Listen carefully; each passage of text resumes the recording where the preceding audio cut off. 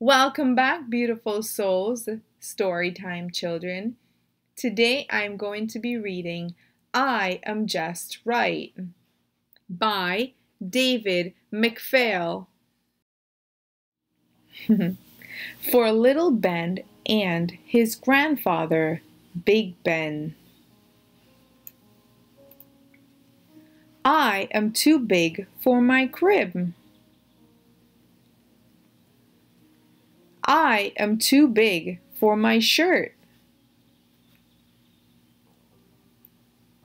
I am too big for my shoes. I am too big for my tricycle. I am too big for Grandpa to pick up. But I am just right for him to hug.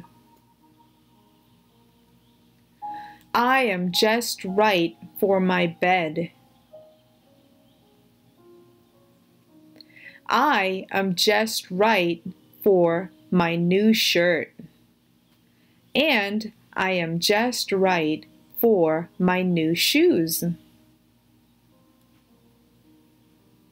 I am just right for my bike. I am just right for my sister. I am just right for this book. I am just right.